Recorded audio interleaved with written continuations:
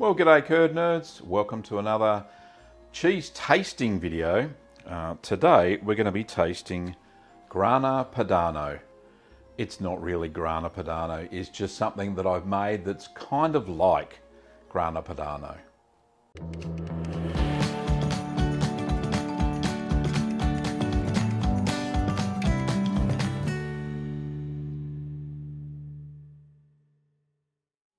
Well, welcome to my new studio. As you can see, we're all set up here for filming, taste tests, and all sorts of other videos, not necessarily ones on this channel, of course.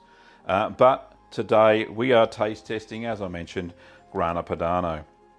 Now, this cheese was made on the uh, 25th of August 2019. Uh, so it is over a year old. So it's 12, 13, 14, 14 months old. I made it with uh, Inglenook Dairy uh, low fat milk, um, which was about it was about 1.5% fat, but I added a little bit of, um, full cream milk or whole milk to it to bring the fat level up to about 2%.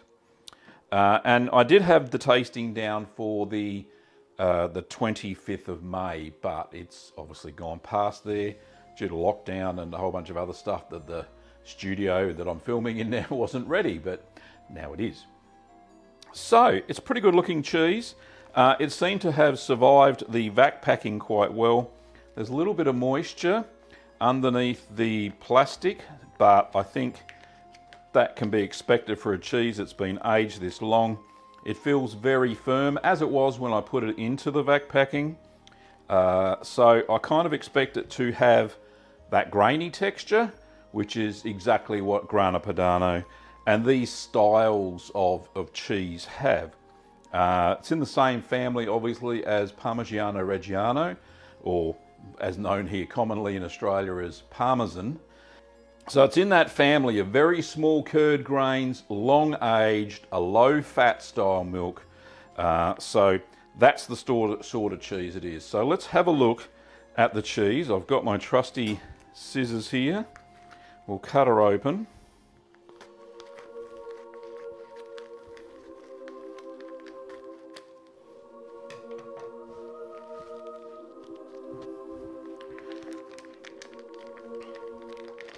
So, yeah, there is a bit of moisture in the bag.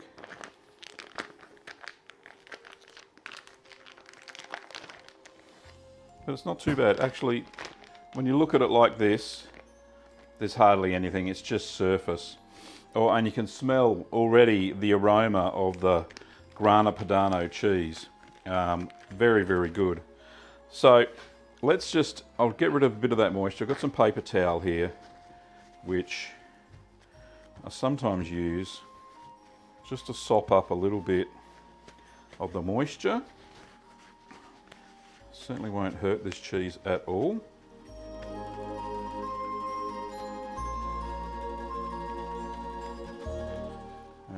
Reverse side. I can actually see some um, some crystals on the outside, which I can't expect to be uh, either calcium lactate or tyrosine. I think it's tyrosine. Um, so, without any further ado, before I do, I'll just wipe my hands because got that lovely juice all over it. Right, here we go. Oh, this is a very hard cheese.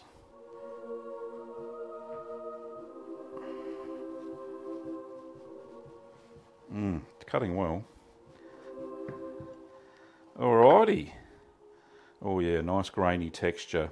Um, it's very good indeed. Very grainy. Beautiful colour too. That Inglenook Dairy milk makes a really good coloured cheese. So let's just shave a slice off. So I want to get into this bad boy.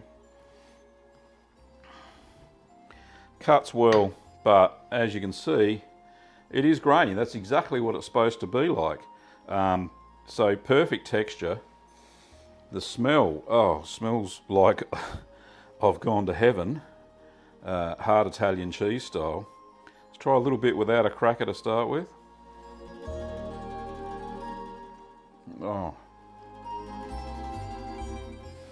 That is sensational. That is, that was absolutely worth the wait. This is going to be fantastic in pasta dishes, um, over salads. Oh, let me have a bit more.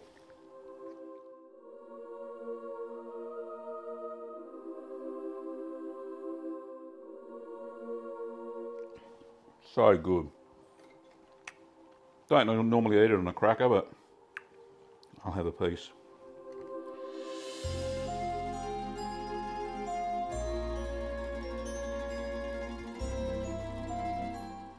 Adds a little bit to it, but not much. Better as a grating cheese. Well, the flavour's certainly all there.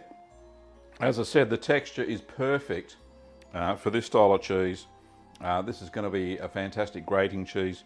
Now to store it long term, basically what I'm going to do is cut it into probably eighths um, and vacuum pack each eighth. So when we go to cook pasta or what have you, whatever we're going to use um, the grana padano in, is uh, just we use one eighth.